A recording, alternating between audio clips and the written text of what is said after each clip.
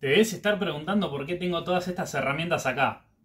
Y si sos un principiante o estás iniciando en el mundo de la fabricación de muebles, seguro estás pensando cuánto te servirían muchas de estas herramientas para poder mejorar tus trabajos. Y en este video te voy a mostrar con la fabricación de qué producto pude juntar el dinero para comprar la mayoría de estas herramientas. Y quédate hasta el final porque voy a explicar más a detalle cómo ajusté el diseño a unas medidas que me facilitaron mucho sacar mayor rendimiento económico del producto, no solo porque pude tener menos sobrantes de materiales, sino porque pude mejorar los tiempos de fabricación para producir más unidades. Espero que como siempre les sirva para motivarlos a realizar sus proyectos y que aprendan algo nuevo. Para la estructura uso hierro de 15 x 15 milímetros. Comencé midiendo y corté las cuatro patas de 68 centímetros cada una. Recuerden utilizar la protección adecuada cuando cortan con amoladora. Para los cortes que van a conformar los rectángulos de la estructura, donde uno sostiene la tapa y otro la base, realizo cortes a 45 grados. Como ven en la imagen, primero corto la punta del hierro y el corte siguiente lo hago del mismo ángulo pero en la dirección opuesta para que al momento de soldar queden todas las puntas tapadas. Para sacar correctamente la medida del corte, primero hago una línea recta para marcar el largo de la pieza y después hago la marca a 45 grados hacia adentro.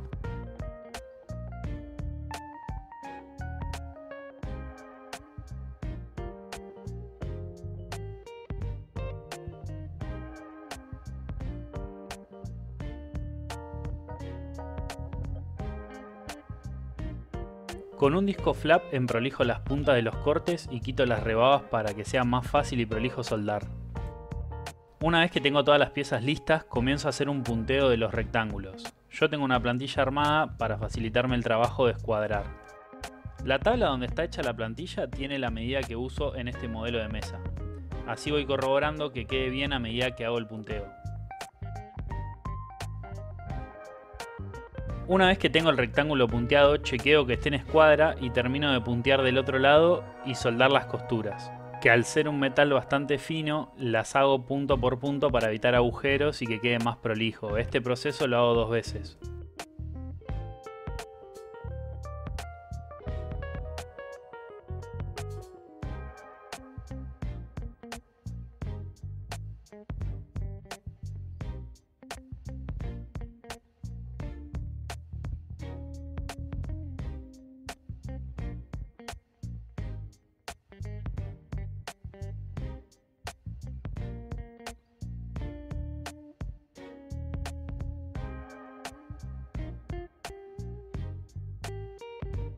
Con ayuda de la escuadra combinada marco a 10 centímetros para saber dónde va la segunda pata y realizo un punteo de las cuatro patas. Una vez que tengo todo en su lugar, realizo las costuras finales.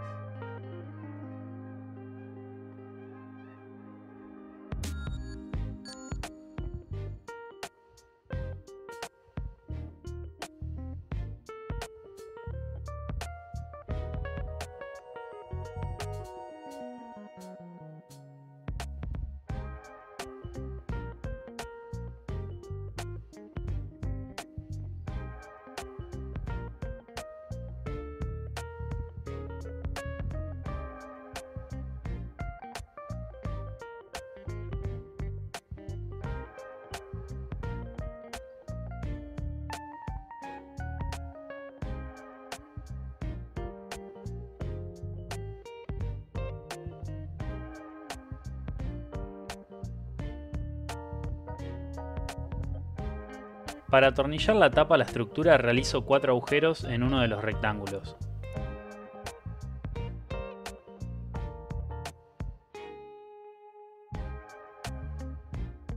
Y para dar la terminación a la estructura utilicé tres manos de pintura en aerosol 3 en 1 color negro mate.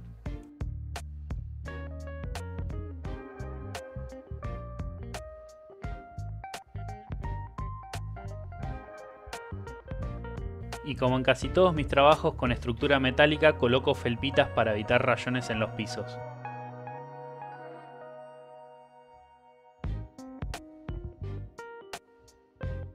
Disculpa la interrupción, pero es muy importante. Te invito a que te suscribas al canal, que probablemente ya sepas que no tiene costo, y a mí me ayuda mucho a seguir creciendo, y a ustedes los ayuda a no perderse los próximos videos. Sigan viendo. Para la tapa utilizo MF 18 mm enchapado madera natural. En este caso es Petiribí, pero también uso Paraíso, Kiri o Guatambú. Las tapas yo las tengo cortadas a su medida y solo les pego el canto con cemento de contacto. Que si les interesa ver un poco más a detalle este proceso, tengo un video en el canal hablando de chapas de madera y cómo pegarlas.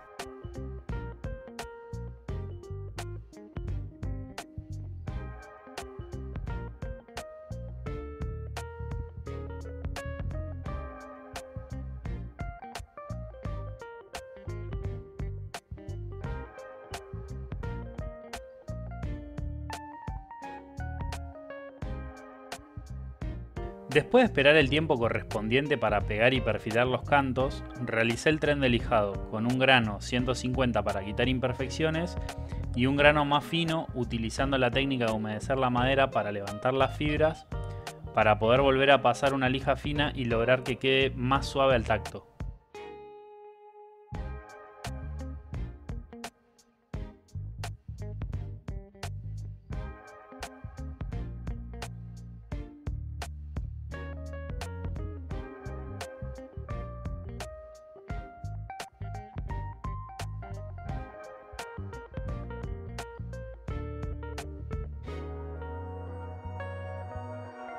Para darle un acabado a la tapa utilicé una hidrolaca al agua con terminación brillante. Con este producto le di tres manos.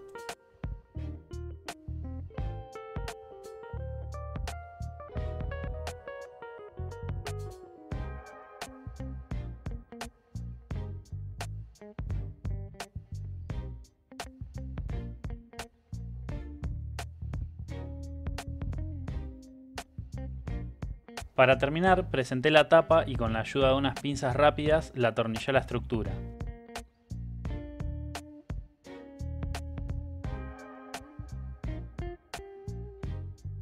Más allá de que es un trabajo que realicé muchas veces, quedó muy prolija, me gustó mucho el resultado.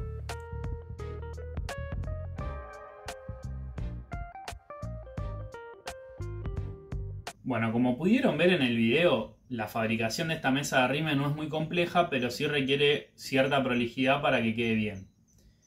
Una de las maneras de lograrlo es usar plantillas para la fabricación, ya sea para este producto o para cualquiera que ustedes quieran producir en serie.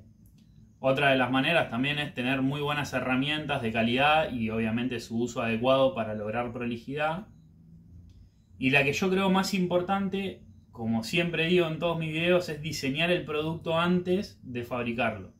Ya sea con la ayuda de una computadora o dibujándolo a mano, pero es muy importante pensar el producto antes de fabricarlo. Como les contaba al principio del video, cuando inicié en este mundo, muchos de mis trabajos eran a medida. Y eso me generaba un problema porque muchos de los clientes te pedían unos centímetros más, unos centímetros menos. Eso me complicaba porque me generaba pérdida de materiales y pérdida de tiempo. Así que un día decidí estandarizar las medidas y logré que de una barra de 6 metros de hierro poder sacar todos los cortes necesarios para la estructura y la medida de la tapa poder sacar 40 de 30 por 40 centímetros de una placa entera de MDF de 1,83 x 2,75 que a su vez mi proveedor me las entregaba ya cortadas muy prolijas y lo único que tenía que hacer como vieron en el video es pegar los cantos, lijarla y darle un acabado. Eso no solo me permitió ahorrar muchos materiales, sino que también en fletes. Todo ese dinero que pude ahorrar lo invertí en comprar todas las herramientas que le mostré al principio. Obviamente mis primeros trabajos los hice con menos herramientas y mucho más limitadas. No empecé con todas esas herramientas que vieron al principio o las que se ven en el video. Tienen que darse algo de tiempo para crecer si su idea es emprender en este rubro o en cualquier otro. El objetivo de este video no es solo mostrarle cómo es hacer un producto en específico, sino motivarlos y ayudarlos a que logren mayores márgenes de ganancia encontrando un producto que los ayude a crecer. Siempre vamos a querer algo que todavía no tenemos aún y que tal vez otros ya lo tengan.